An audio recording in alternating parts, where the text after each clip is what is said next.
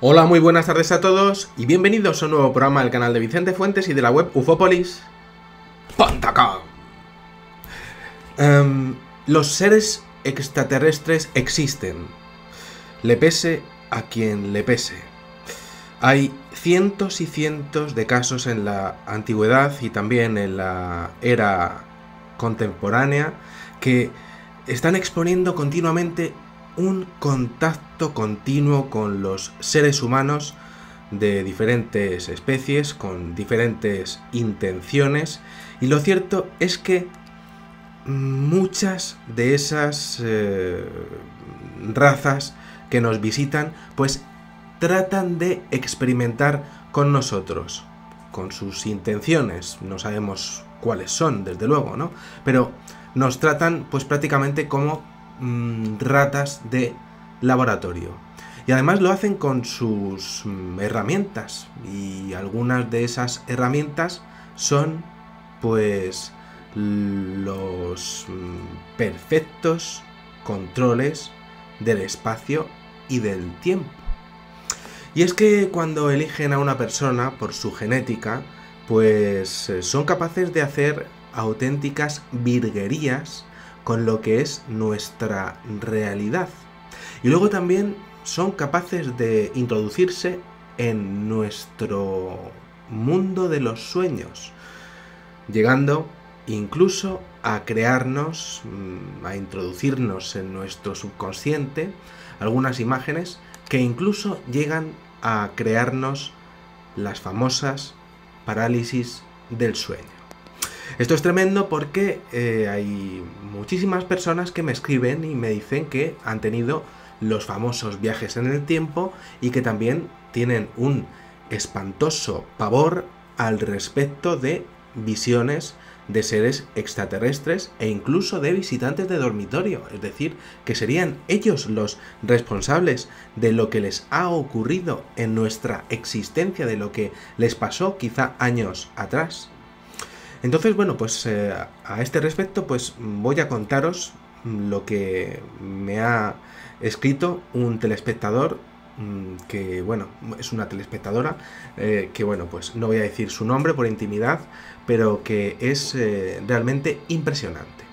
Dice así, me dice, buenas tardes Vicente, soy, mm, no lo digo, y soy de Argentina, Buenos Aires. De Buenos Aires, Argentina, bien dicho. En otra oportunidad te he escrito sobre mis sueños con mi padre y te quiero agradecer por hacer un especial de cómo se comunican a través de nuestros seres queridos. Mm, eh, ella ya, ya expuso el hecho de que sus parientes pues eran capaces de comunicarse con ellas a través con, con ella a través de los sueños como que nuestros parientes ya fallecidos son capaces de comunicarse con nosotros cuando dormimos, para que sepamos que ellos no han muerto y que de hecho nos esperan para cuando nosotros pues mm, lleguemos al lecho de muerte. Y entonces ella me ha seguido escribiendo, una cosa bastante interesante. Y me dice, y en esta oportunidad te voy a contar un relato que me ha pasado y que de alguna manera pues me ha marcado completamente la vida. Y es que Vicente resulta que una mañana, como todas las eh, mañanas, como todos los jueves, pues me fui con mi padre, ya fallecido, a la capital federal a realizar una compra para su negocio.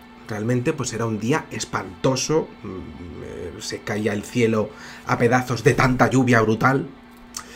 Y bueno, pues tal fue así que al término de las compras, pues mm, bueno, pues, mm, emprendimos la vuelta a nuestro hogar sin más dilación. No nos quedamos mucho más tiempo allí porque es que hacía un tiempo espantoso. Y entonces al tomar la autopista en el tramo del medio, pues nos encontramos que había una inundación impresionante. Estaba todo muy inundado y pues, de tal manera que decidimos salir de la autopista y tomar otro camino. Bueno, pues salimos efectivamente de la inundación, cogimos la avenida General Paz, bien, eh, que eh, está corriendo de forma perpendicular. Y mira, Vicente, nosotros ya íbamos a medio tramo de la Avenida General Paz y en un abrir y cerrar de ojos ya no estábamos allí. Nos dimos cuenta además, mi padre y yo, de, a la vez. En ningún momento nos dimos cuenta de eso porque algo hizo que volviésemos al principio de aquella autopista. Que volviésemos al camino de la autopista de donde habíamos salido en un principio.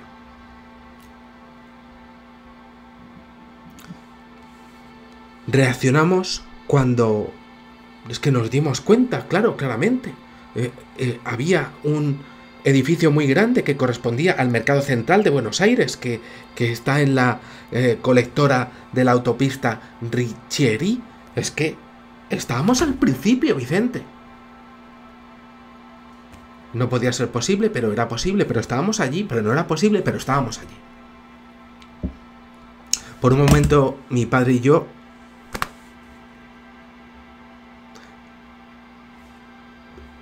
nos quedamos sin palabras. No sabíamos qué decir. Era imposible, pero estábamos allí. Y lo que recuerdo, porque de esto ha pasado mucho tiempo, tanto como 16 años, fue que los dos nos quedamos mirando fijamente y dijimos, a la vez, ¿Pero cómo estamos aquí? Bueno, al llegar a casa nos sentamos a, comer, a, almorzar y no dijimos ni una sola palabra de la impresión que teníamos. Es más, nunca más volvimos a tocar este tema, Vicente. Eh, pero yo recuerdo muy bien que nos miramos mm, cada uno ese instante, ese momento de tu vida que te marca para siempre. No... Yo no puedo explicar cómo es que yendo por un camino y sin salir de él, terminamos en otro lugar, al principio de él.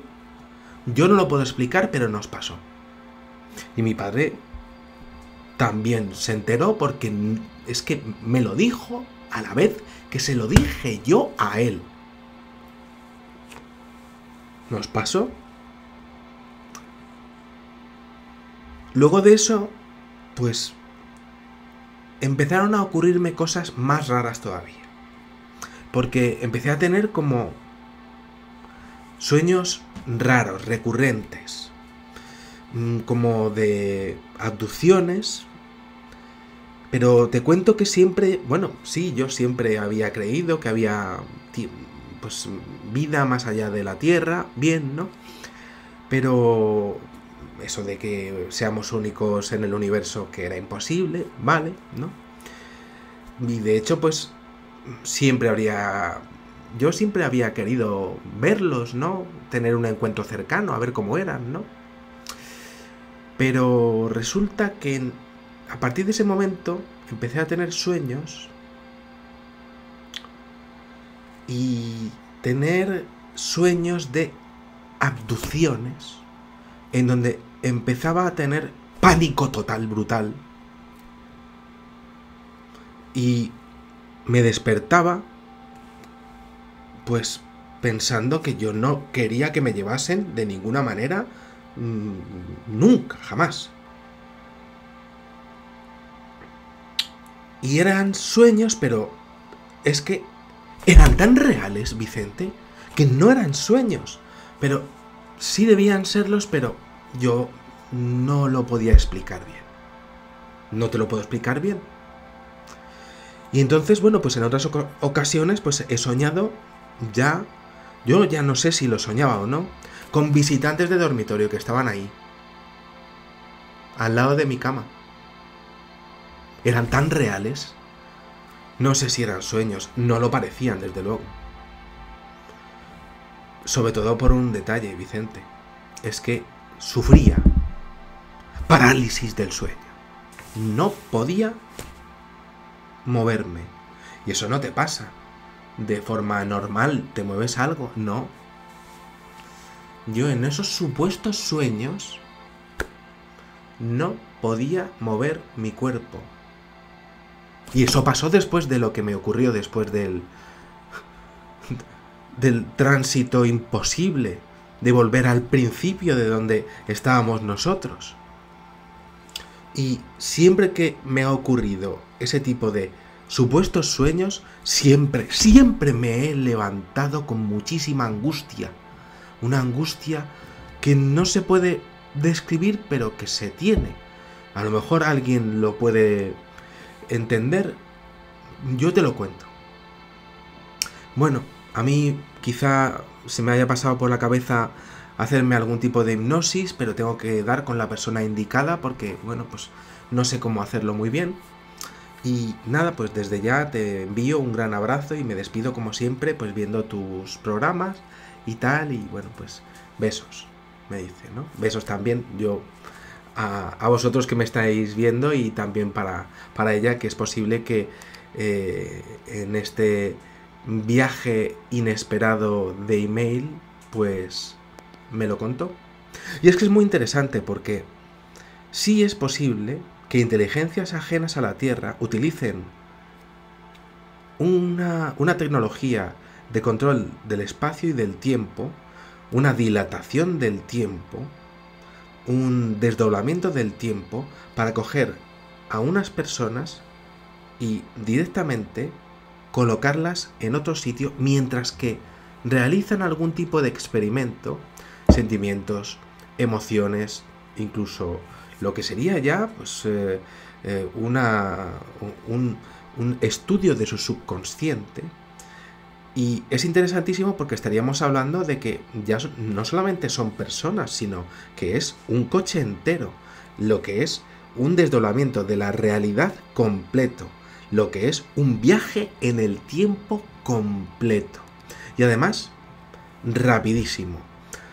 Mm, directamente un desdoblamiento completo en un momento determinado de nuestro espacio y tiempo. Iban por un uh, lugar y directamente, pues, vuelven al principio. En ese punto de ese lugar en donde ocurre todo, ahí es donde empieza el experimento, posiblemente ya seguidos antes por estos seres, ya que además van padre e hija. Interesante a nivel genético para estudiarlos a los dos. Muy interesante el hecho de que tengas eh, sueños raros, recurrentes, además, siempre los mismos seres, siempre las mismas abducciones, siempre la misma brutal ansiedad. Esa. pues. esa, esa sensación que tiene de, de abducción, pero de que no quiere que la lleven, posiblemente porque sabe que lo que la hacen pues no es bueno, pero no sabe distinguirlo si es verdad o no, pero lo que le ha pasado antes sí, lo tiene clarísimo, ¿no? Entonces sí que es posible que estas inteligencias sean capaces de utilizar el mundo onírico nuestro para confundirte, pero el problema es que, claro, ella tiene parálisis del sueño. Entonces no es un sueño lo que le está ocurriendo, ese visitante de dormitorio está manipulando su cerebro, al igual que manipuló el tiempo para hacer lo que quisieran hacer con ellos dos, con el padre y con la hija. Interesante porque, claro, porque ellos, siempre la misma pregunta. Y claro, interesantísimo el hecho de que, mm, ¿por qué en ese momento? Mm, ¿Y por qué esa angustia de ella? esa angustia en esos sueños. ¿Qué pasa en esas abducciones? Lo hemos visto en muchos casos, pero mm, ella necesita saber qué es lo que le ocurre en esos sueños que son reales completamente y que son completamente vívidos o no vívidos, le está ocurriendo de verdad esa abducción y tanto es así que necesita ir a alguien que le haga una mm, hipnosis para saberlo. Esa necesidad que tienen los abducidos reales de saber qué les ha pasado. Y por eso os estoy trayendo este caso que me ha impresionado tantísimo, porque tiene ambas, eh, bueno, ambas temáticas al respecto de los viajes en el tiempo y las abducciones. También las eh, sensaciones de angustia brutal y de la eh, y de las hipnosis que necesitan los abducidos mm, porque quieren saber qué les ha pasado. Muy interesante el hecho genético, como os decía, padre e hija. Y bueno, pues eh, ese momento en el cual yo me quedo casi con eso, eh, de mirarse los dos y decir cómo hemos llegado hasta aquí. Y de hecho, nunca jamás, tantas veces lo he visto, nunca jamás volver a hablar de ello y de la impresión tan fortísima de no hablar nada en aquella comida. Se quedaron petrificados. Habían tenido un viaje en el tiempo. Era imposible, pero les pasó. Nada más, espero que os haya gustado muchísimo este videoprograma y os espero en el siguiente. Muchísimas gracias y que sepáis que en una vida hay muchísimas vidas. Adiós.